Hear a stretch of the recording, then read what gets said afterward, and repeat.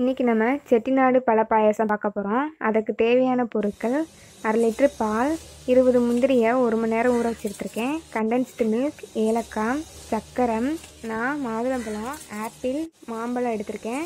உங்களுக்கு என்ன பழம் கிடைச்சாலும் எடுத்துக்கோங்க. ஊற வச்ச முந்திரியை இப்போ அரைச்சி எடுத்துக்கலாம்.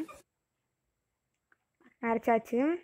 இப்போ ஒரு பாத்திரத்தை வச்சு அதில் பால் ஊற்றி காய்ச்சிக்குங்க நல்லா.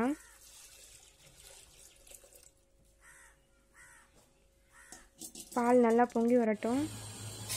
பால் பொங்கிடுச்சு. இப்போ தீயை குறைச்சிக்கோங்க கொஞ்சம். இதை நல்லா கிண்டி விடுங்க கரண்டி வச்சு. கொஞ்சம் நேரம் அப்படியே நல்லா கிண்டி விடுங்க. இப்போ இதோட சர்க்கரை சேர்த்து ஒரு ரெண்டு நிமிஷம் கிண்டி விடுங்க.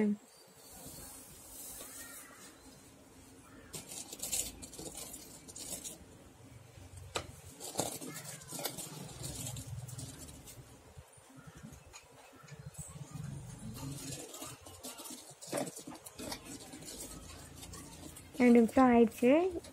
இது கூட நம்ம அரைச்சி வச்சுருக்க முந்திரியை சேர்த்து ஒரு அஞ்சு நிமிஷம் அப்படியே கிண்டி விடுங்க.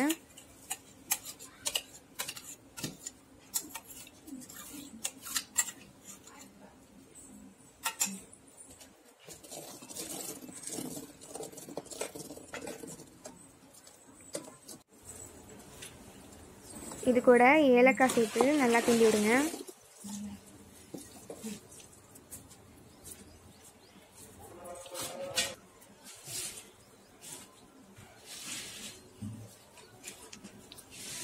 அஞ்சு நிமிஷம் ஆயிடுச்சு. இப்போ நான் கண்டென்ஸ்டு மில்கை சேர்த்துக்கிறேன்.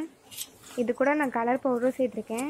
குங்குமப்பூ இருந்தால் கூட இதில் சேர்த்துக்கலாம் நீங்கள் இதை நல்லா கிண்டி விடுங்க கொஞ்சம் நேரம். இது நல்லா கொஞ்சம் நேரம் கொதித்து வத்த வெட்டி இறக்கிடுங்க. வத்திருச்சு. இதை இறக்கி கொஞ்சம் நேரம் நல்லா ஆற விடுங்க பாலை. ஆறுனதுக்கப்புறம் பழங்களை சேர்த்துக்கலாம் இது கூட.